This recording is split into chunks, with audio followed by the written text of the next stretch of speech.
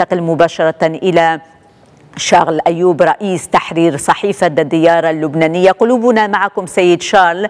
نود أن تحدثنا الآن عن ما تلاحظ ما الذي يوجد اليوم في بيروت كيف تعيش هذه الليلة العصيبة؟ مساء الخير ومساء الخير لجميع المستمعين والمشاهدين.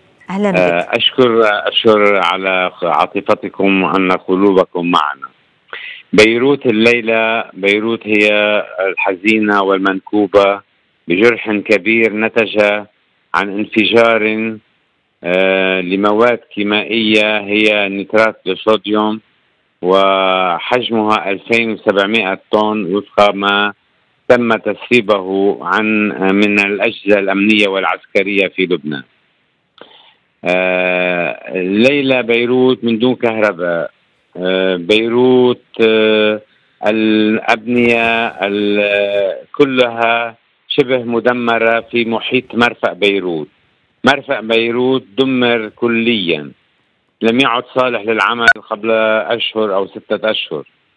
آه الشوارع القريبة إلى منطقة مرفأ بيروت آه بمدى 10 كيلومتر في دائرة قطرية أي من آه تقريبا من وسط بيروت إلى 10 كيلومتر جنوبا وشمالا وشرقا كلها منازل مهدمة. الزجاج آه يغلق الطرقات الأبواب مشرعة. هنالك حتى الآن إحصاء لعدد الشهداء ما يقول أنهم وصلوا إلى المئة وأكثر. وهنالك ثلاثة ألاف جريح وفق أرقام وزارة الصحة اللبنانية. فبيروت تعيش مأساة الليلة. طيب أنت السكان. سيد شارل تصف لي مأساة وكارثة حقيقية اليوم. كيف تتصرف السلطات الآن لإنقاذ ما يمكن إنقاذه؟ ما تقوله يعني أن هناك الكثير من الأشخاص اليوم تحت الأنقاض؟ كيف تتدخل السلطات لإسعاف هؤلاء وإيصال الجرحى إلى المستشفيات؟ آه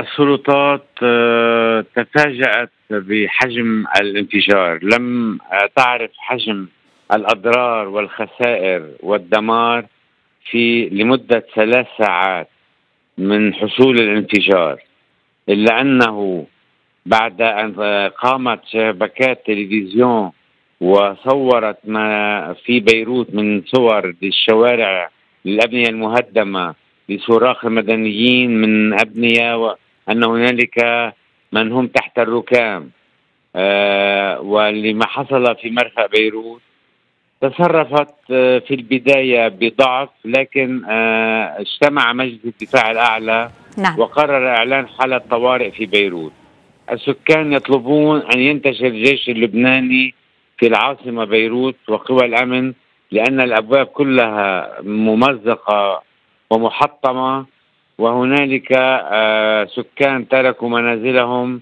وهنالك خوف من حالة فوضى في بيروت. لكن الحمد لله تمت السيطرة على الوضع وسلطات تحاول السيطرة على الحريق وحتى هذه الساعة لم تستطع رغم استعمال طوافات وكل قدرة هناك في بيروت. عفوا هناك حريق متمركز أم هناك بؤر لهذا الحريق؟ هناك حريق واحد فقط الآن؟ حاليا هناك حريق واحد لكن حريق ضخم بدائرة 25 إلى 30 مترا. طيب هل هناك طائرات هليكوبتر؟ هذا ما نراه. منذ قليل كنا نرى طائرة هليكوبتر تحاول إخماد هذا النيران. كيف يجري السيطرة عليه؟ هل تمتلك بيروت ولبنان فرق إنقاذ قادرة على التدخل في مثل هذه الأوضاع التي توصف بالكارثة الإنسانية؟ لا تملك القدرة على إطفاء هذا الحريق الناتج من مواد كيميائية لأنه لا يجب رمي المياه على المواد الكيميائية المحترقة. تحتاج إلى رمي رمل رمال بحر وتراب وأتربة عليها ومواد خاصة للمواد الكيميائية. وعلى ما علمنا من عدة مصادر أن هنالك غدا ستصل من فرنسا وربما من روسيا. من موسكو. طائرات تحمل مواد إلى مطار بيروت لتنقلها طوافات تابعة لسلاح الجو اللبناني وترميها فوق الحريق لإطفائه. شكرا بواسطه هذه المواد. نعم. نعم. شكرا جزيلا لك سيد شغل أيوب على كل ما تفضلت به.